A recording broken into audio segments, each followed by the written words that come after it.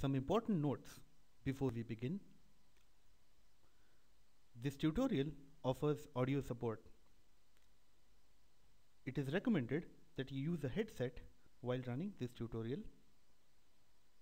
The session duration is approximately 9 minutes. Hello and welcome to this e-learning tutorial on exploratory testing using the landmark tour.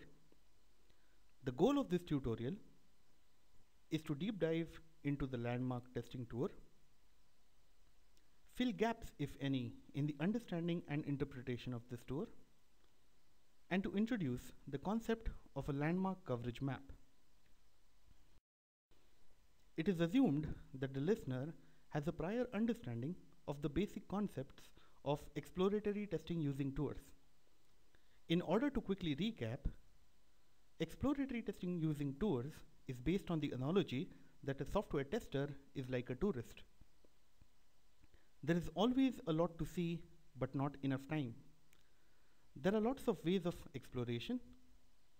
The tourist is, however, keen to see the things important to him. This tourist metaphor is transferred to the world of software testing through exploratory testing. You may already be familiar with some of these commonly known exploratory testing tours like the Landmark Tour, the Antisocial Tour, the FedEx Tour, the Supermodel Tour, to name a few. Every exploratory test tour is an approach, a mindset to test a particular feature. When a same feature is tested using different tours, it is the test approach that changes, though the feature is still the same. Every tour has a distinct name in order to improve communication. These tools are generic and can be applied to a wide range of features. This tutorial is intended to share some focused information around the Landmark Tour. The Landmark Tour is considered to be a very powerful tour as it can lead to defects of high severity and impact. The tour is also critical as it demands a good understanding of the application landmarks and their interrelation. The basic idea behind the landmark tour is that you pick the important landmarks of your application and you execute these landmarks in different orders. This tour is often confused as a tour that focuses on testing the most important features.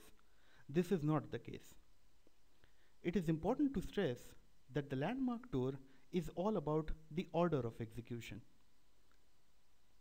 The landmarks can be executed in different orders also with the intention of checking that the exception handling is working as expected.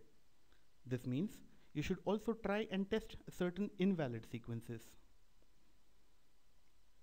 Let us understand the application of the landmark tour using an example of a simple purchase scenario. A user needs to buy 10 laptops for which he'd create a purchase request transaction. A purchase request is merely an intent of the user. The organization's purchasing department consolidates purchase requests into a purchase order and sends it to the vendor. A purchase order is a confirmed order placed to the vendor for providing the required equipments. The vendor would then ship the goods to the company that are received via a goods receipt transaction. This is the record for the receipt of the goods. The vendor would also send his invoice for the delivery. This is same as a bill that the vendor would submit for the laptops that he is delivered. The invoice would be settled using the payment transaction. This final step is where the vendor is paid for his delivered laptops. So we've identified the five important landmarks of this part of the application. This is the first important step. A high-level guidance regarding these landmarks, the planning phase, can prove to be really useful during the time of test execution. At execution time, we normally would execute these landmarks as in order 1, which is a straightforward scenario. However, this isn't the only order in which this scenario can be executed. The order 2 is also valid and you may like to test this order also. You can start directly from a purchase order without a purchase request. The order 3 is also valid as you can directly create an invoice even without a goods receipt and proceed for the payment. This is used at times when you need to pay an advance to the vendor. But mind you, the order 4 is not valid. You cannot directly create a goods receipt against a purchase request. A purchase order has to be created first. You may still want to test this for checking the error routines.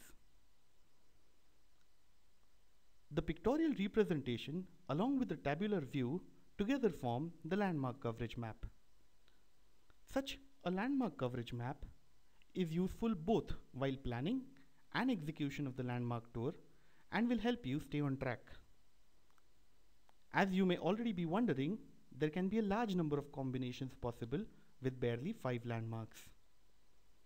As the application and the test expert, you need to decide the important orders that must be tested. Testing in pairs is really helpful.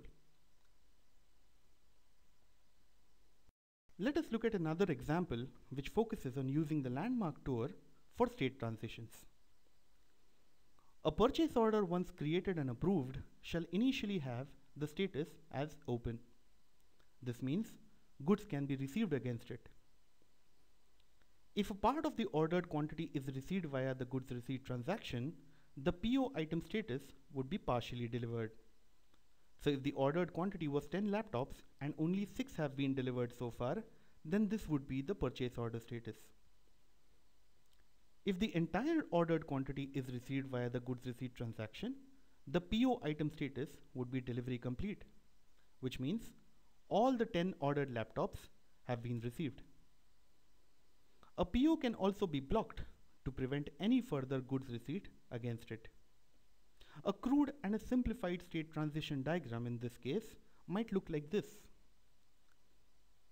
You might as well treat each of these states as landmarks and execute the landmark tour like we did in the previous example.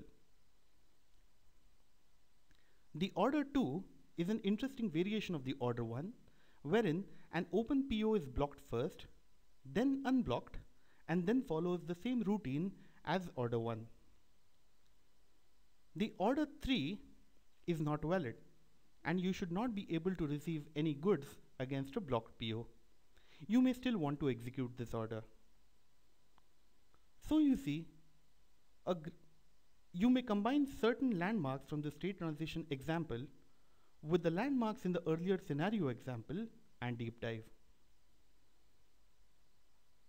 A great deal of variation can be created by choosing first a few landmarks and executing them, and then increasing the number of landmarks and varying the order in which you visit them.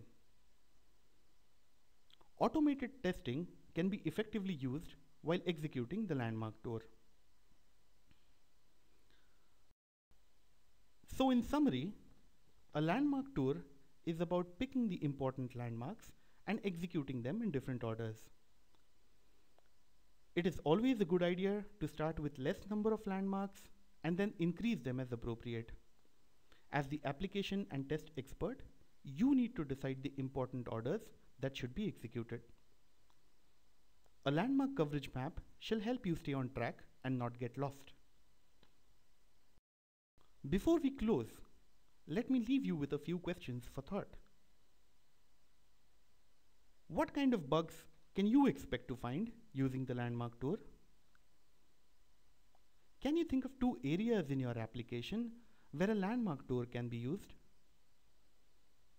The draw it, then test it approach is used in the landmark coverage map. Do you think it will be useful? Hope you found this tutorial useful.